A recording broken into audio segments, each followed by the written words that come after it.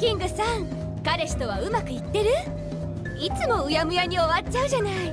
今回こそデートの約束くらいしときなさいよ。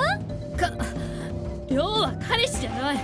それにデデートなんてからかうんじゃないよ。くだらないこと言ってないでさっさとかかってきな。Now or never. Ready?